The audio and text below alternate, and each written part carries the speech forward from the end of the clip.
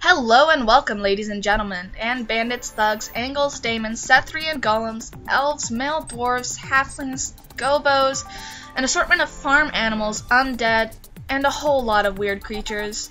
So, welcome to the LOTC report.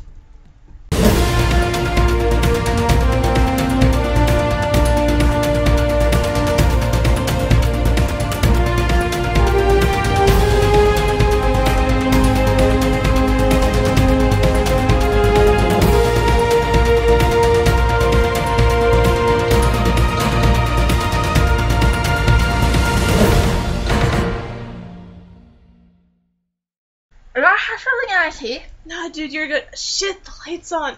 Welcome back, folks. We have another of a lot of stuff to tell you today. Yep. Wait, what's this about again? Just read the script. Uh, oh yeah.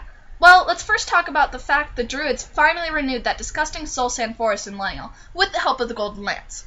Are you sure that even happened? I mean, it just kept getting postponed. Well, if it didn't happen, it's going to eventually, right?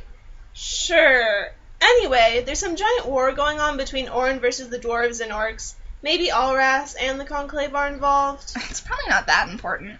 Yeah, you're probably right. Moving on, the Princedom of Fen is trying to remain neutral with all of the conflict going on. Do you think that's even possible? Uh, maybe. I mean, the Church and Oren seem to think otherwise. Wait, do you even know what the Princedom of Fen is? Of course, it's like a family of three Snelves or something. Y- yeah, I think so. Anyway, some Flay got attacked by the Conclave, won by PvP. Awesome. Alright. Oh, that's enough roleplay news. Let's move on to the OOC bullcrap. Okay, well, first on our agenda, we have Azalala, who's going to tell us all about our new plugin. Do I have to listen? Hey there, everyone. Resident Coder Arzoda here this week, and oh my, do we have some news for you. For a while since the last LOTC report, quite a few things have changed server state wise. To begin, we looked at patch 3.9. Yes, you hear correctly, one tenth of the way from 4.0, map and update. Anyway, 3.9 brings a whole lot of changes, the first, of course, being personas. As a transition to better ease into the profession system, and many other Nexus esque things of the sort, players have been limited to two personas by default, as you know them character cards. As VIP increases, gold will be awarded 3, and towards the end, in Aether VIP and Ender VIP, 4 will be awarded. Some further limitations have been added, such as name switching and persona switching, as due to the fact once the Professions plugin comes out, skills and XP will be linked to the persona itself. More on these updates. My Heads and Flower plugin was removed temporarily and has been replaced with Knockout Plus. Arguably, though, mine was painfully more efficient, but hey, who's judging? Besides the admins and the GMs and the community. Anyway, the plugin can be toggled by GMs for wars as always, and the execution time has been lowered from the initial 4 seconds to 2. Also, chat has been changed to better accommodate the Personas plugin.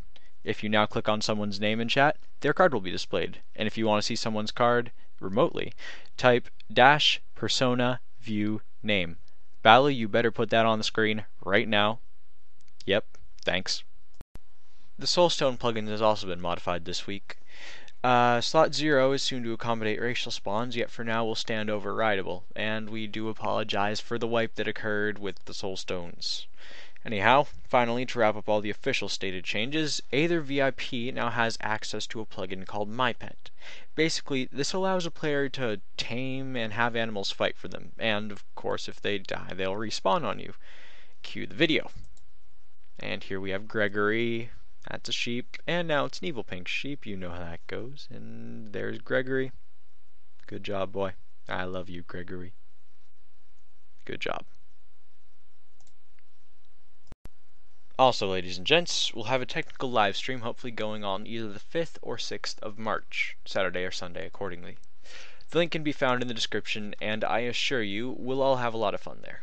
Oh, and bonus points go out to whoever counts the total amount of times soon is said in the video. It'll be over 10, I promise. I do believe that just about wraps it. Oh, nope. Breaking news, everyone. Archie, our own sporadic, has recently posted a topic detailing some horrific duping bugs associated with the shop plugin. As it stands, the dupe bug is fixed. Yes, I've received word it is fixed for the time being. Nevertheless, if you're one of the unsung dupers, now would be the time to turn yourself in. This could mean the difference between a permaban and a plugin ban, the second being much more appealable than the first. Because of such a number of duped items in game, an item wipe is a real possibility if deemed necessary by the team. Players, of course, will have some input. Also, the tech team, coders and techs alike, will now be taking bug reports sent directly to them as well. If the bug proves game changing enough, VIP perks and levels may be awarded, providing you haven't exploited it for your own personal benefit, of course. Hey everyone, it's Cowman, and I'll be um potato.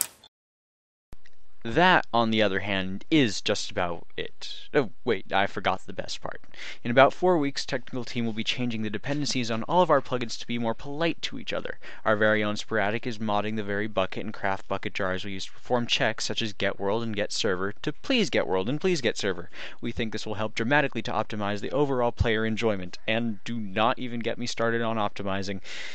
Everyone, the amount of things that will be gone in 4.0 is staggering. Hell, we might even optimize few players to test how it affects server TPS if you get what I'm saying. But what the hell? I need to get back to creating hash maps for the VIP perks I'm coding. It's been the last four days. The runnables are being a bitch, and I'm even going to learn how to suppress packets for the players so if they type a command to disable certain particles. Uh, thanks, Arzota, for that informative debriefing. Hey, get off your phone! Huh? Oh, oh, sorry. Totally paying attention this entire time. anyway, our next piece, piece of business is well, apparently there's a lot of forum drama over ban reports. Yeah, guys, come on. The forum moderators are lazy. They don't want to deal with your issues. Amen. Oh, and the event team wants us to talk about the slime cave and pollution being pumped into the lake in the Dwarven lands. What? Where's that? Where we live. Where I've been trying to get a druid's attentions for it for the past few weeks. Not important. You're a bad dedicant. Anyway, our last topic is the Creative Cafe.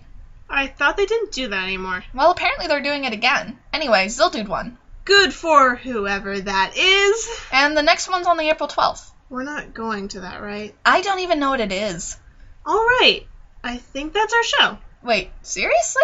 Like, we talked about nothing. Well, obviously. I mean, Baloo's gremlins are just lazy. Are you talking bad about Quav? N- no, n- never mind. Anyway, the media team is currently looking for more gremlins so that they can get their information easier. And they need more voice actors, because we suck. Ouch.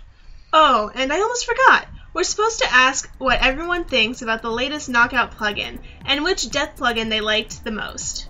Alright, viewers respond in the comments. I guess that's it. Have fun and happy role playing.